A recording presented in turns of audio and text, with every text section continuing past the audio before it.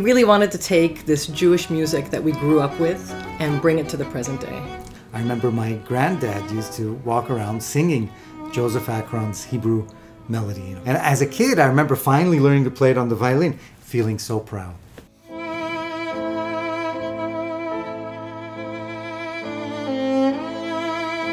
I think Jewish music is very soulful. I think of the pieces on the album, only one is sort of a religious piece. Eli Zion is based on, on a prayer. The, the rest are taken from Jewish life. They're taken from Jewish culture in general, their, their dance music.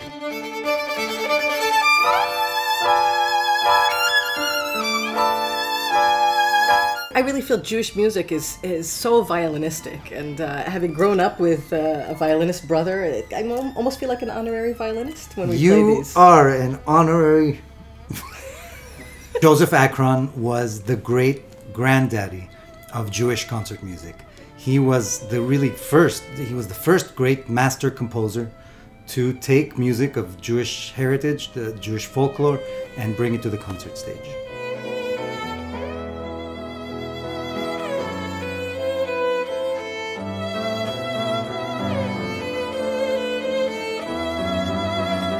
Ernst Bloch's Baal Shem Suite, which I think was composed here when he was in New York, um, is an instant classic. You know, violinists have been playing it for decades. People love its depiction of Hasidic life, and uh, and it really uses the violin in, in a beautiful way.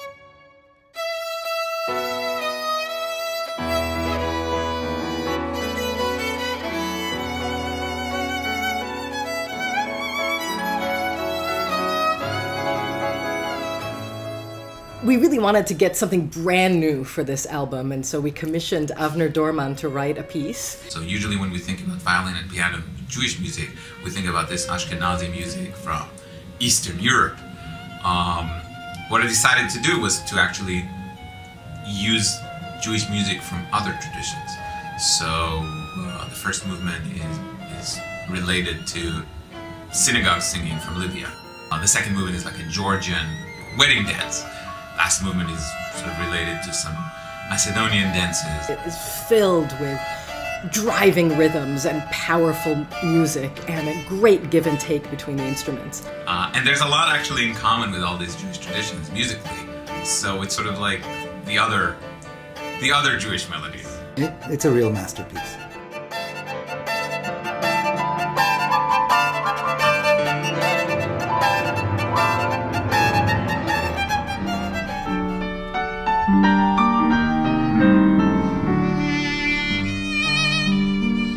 I think one of the incredible things is that John Williams has been able to do is capture the essence of a time and of a soul.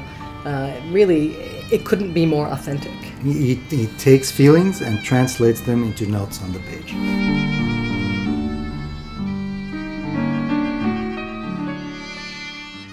The best thing about working together as siblings is we've been doing it all our lives. So really, it's like there's there's a language that we've just known forever we never have to be formal with one another. I never have to say, please, Gil, would you mind maybe a little? I just say, Gil, slow down. Yeah.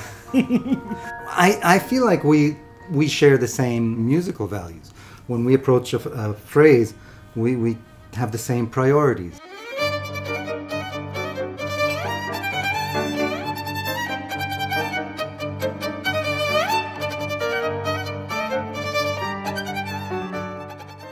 We found all the rep on the recording to be absolutely soul stirring.